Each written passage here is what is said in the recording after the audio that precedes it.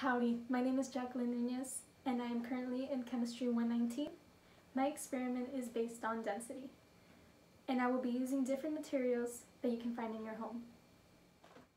So before we begin the experiment, we want to know what density is.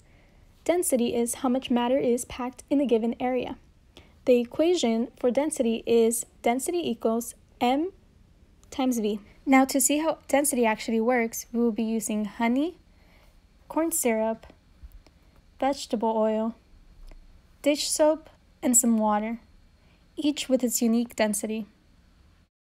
So now we will be putting these ingredients based on their density from biggest to smallest to see the difference in their densities.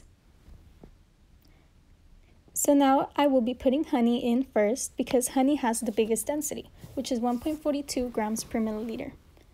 Next, I will be putting corn syrup, which has a density of 1.33 grams per milliliter. And now I'm going to check it out to make sure that the products are not mixing with each other. Next up, I will be putting some dish soap with the density of 1.06 grams per milliliter.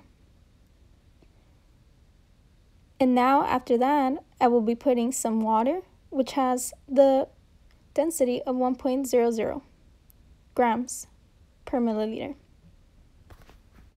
Because the densities of dish soap and the water are close together, I will be using a food baster to put in carefully the water to make sure it will not mix with the dish soap.